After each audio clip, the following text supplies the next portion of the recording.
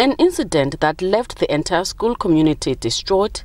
27-year-old English teacher Aphiwe Qhaba died at the scene. The tragic incident was preceded by the alleged rape of a learner late last year while coming from evening classes. We are not happy at all and uh, I think uh, the students uh, are not happy about this. There was a, a, a who was raped when she came uh, from the evening classes at school and uh, we reported uh, this uh, to the traditional leaders and the policemen.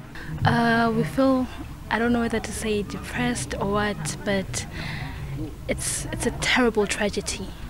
We really feel sad and it, it's going to be hard to move from this, to move on. It's, it's really going to be hard. And we really hope that MEC will take a step in and the person who did this will be caught and justice will prevail as always. The provincial government has vowed to join hands in curbing these incidents. We took this matter quite very seriously as an education precisely because once you have got disturbances in institutions of learning and becomes a target, you will not have the outcomes that you expect uh, from the, in particular from the high school level. Because remember, these teachers has been targeted by the unknown suspects going to school on an extraordinary effort. Um, they were doing evening classes, uh, campings, which uh, is a is a desire and a passion from them and government must appreciate that because they were not paid by government for what they were doing the MEC and teacher unions also visited the home of the deceased. Family members say this is a huge blow to them.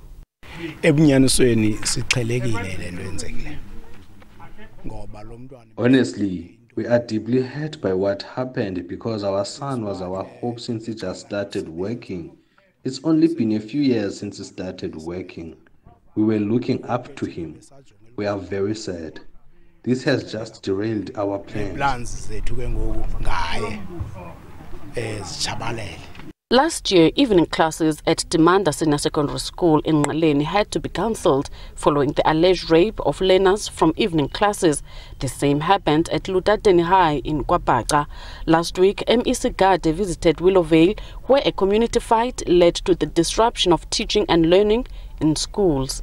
Fundiswa Mhlekude, SABC News, Lusikisiki.